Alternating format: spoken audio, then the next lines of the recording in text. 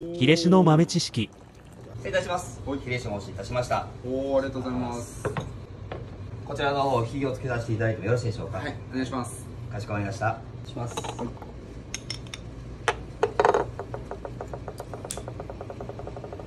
おおアルコールを飛ばすことによって日本酒の甘さが引き立ってきますのでえー、すげえ燃えてる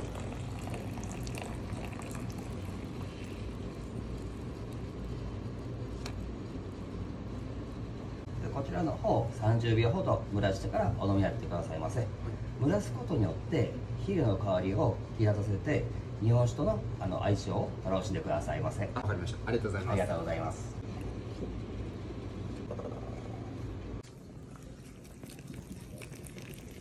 ではこちらヒレ酒ご用意いたしましたこれから注がせていただきますはい